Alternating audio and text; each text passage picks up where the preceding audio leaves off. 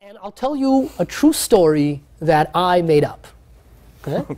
Uh, I mean it. I I think this is a mystery that uh, was painted a long time ago, over 100 years ago in playing cards, and I discovered this little mystery.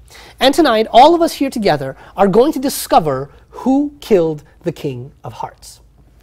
Now, some would say that it was a suicide, going so far as to call him a suicide king, but it is simply not true. And today, I will show you why. Now, first, uh, sir, you'll play detective, if you don't mind. Perfect. We've got a pack of playing cards here, 52 different cards. I'd like, if you don't mind, I want you to cut the cards for me, if you would. And we're going to mark your cut for the time being. Perfect. And then I also have a little card, and everyone at home can play along. I'd like you to look for a card, not a king or a queen, but any number card that you see, and get a good one in your mind, and we're going to come back to that in just a moment. So now, why was this a murder? Well, one day, while looking at the cards, I discovered something very, very strange.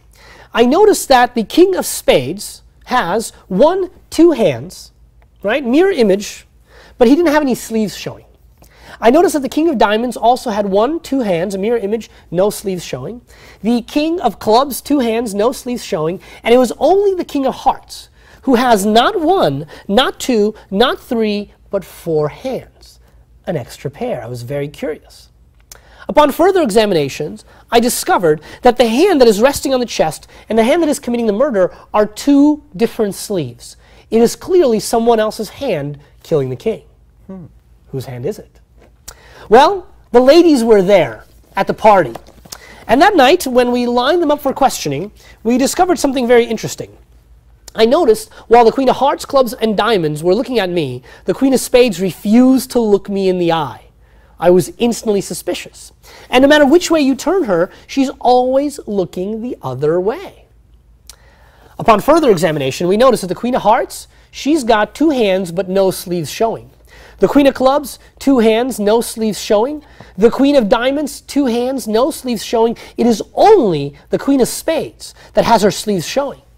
And if you look closely and you look at that rich bloody red and you look at that gold, black, gold, those three lines, and you look at the hand committing the murder, you'll see the same rich red, the same gold, black, gold. It is clear that she killed the king. Now, why did she do this? Was the murder set up to collect the insurance money? I don't know. We're not here to guess at motives. We're only here to look at the cold, hard facts.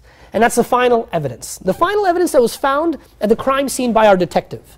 Now, when you looked at all of these cards here on the sheet, you at home and everyone here, which card did you think of? Was it the Six of Spades?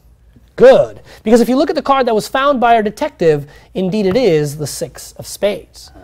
And you see, there's a reason, because it's not just any card.